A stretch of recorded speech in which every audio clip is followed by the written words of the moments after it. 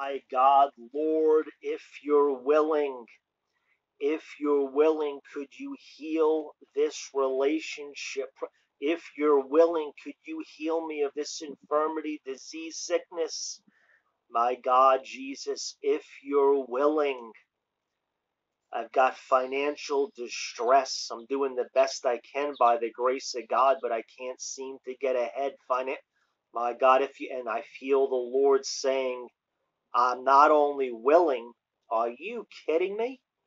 Now, I'm not adding to the word, guys. This is what Jesus said in Matthew chapter 8. Check this out.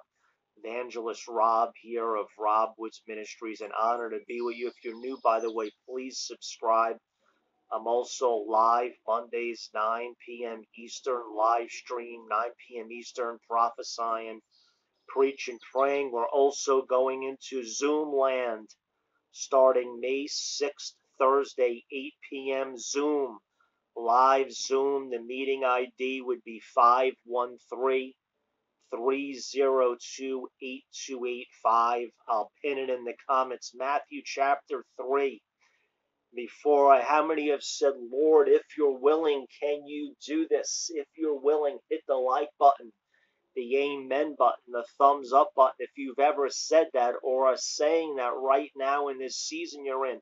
In the comments, say, That's me, Robb. I'm asking the Lord, Are you willing? But listen to this Matthew 3, ha, well, I'll take it verse 1. When he came down from the mountain, great multitude followed him. You know, guys, Jesus would often go up to a high place to the mountain. He took Peter, James, and John to the mountain, and there he transfigured before them. And I always say this don't camp out in the mountain.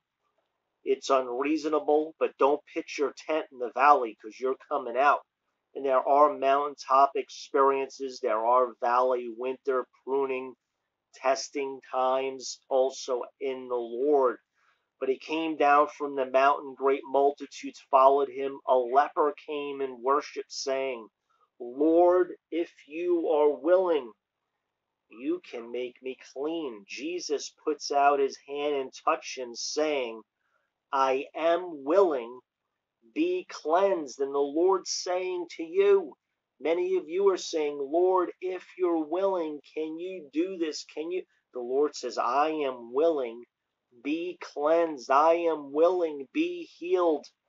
And then it says immediately his leprosy was his leprosy was cleansed. Now listen to this. Matthew chapter 12 and verse 9. Now we departed from there, went into the synagogue. There was a man with a withered hand. They asked him, Is it lawful to heal on the Sabbath that it may accuse him? He said, What man is among you as one sheep falls into his pit in the Sabbath? But now listen to this, verse 13. Then he said to the man, Stretch out your hand. There's time, guys, we have to stretch out or show forward the very thing that's crooked in our life. We've got to come to Jesus so he can make us clean, like the leper the leper needed to be cleansed or cleaned from leprosy. How many know? Many of us, or some, we have spiritual leprosy. We have things on or in us that we need to come to the Lord. You may not have leprosy in the natural, and many people don't. But we come to the Lord. Lord, are you willing? Can you make me clean? He says, I am willing. Be thou made clean. Now listen to this. Then he said to the man, Stretch out your hand he stretched it out and it was restored as whole as the other. And there's also times we have to come and say, Lord, I'm going to stretch out the thing that's withered, that's not functioning. This man's hand was withered. Jesus says, stretch it out, show it to me.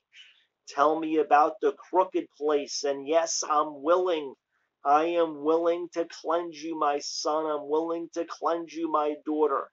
Many, many have been had spiritual leprosy. They've been burnt. They've been hurt. Some, many of the things that have happened and been done to us wasn't our fault. Some of it was, but some of it wasn't. We were victims. We've got to drop this mentality of the victimization. Come to Jesus. Say, if you're willing. He says, absolutely. Are you kidding me? And then we've got to stretch out the withered hand. Ah, and the Lord strengthened that hand, and it was perfect. My God, God will straighten your life out. A woman bent over 18 years in the Bible, guys, spent all she had on doctors. Comes to comes to the great physician, Dr. Jesus, Dr. J, ah, Dr. Jesus. He said, Be thou made straight. Immediately she straightened up, the only one that can straighten your life out, or your withered hand is the Lord Jesus Christ. The Lord bless you. Amen and amen.